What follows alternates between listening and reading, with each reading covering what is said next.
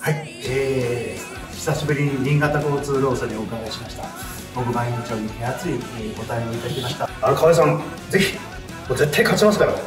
新潟交通交通労ーもう応援してますから。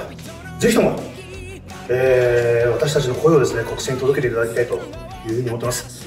応援してます。ありがとうございます。ありがとうございます。必勝です。当然です。頑張るぞ。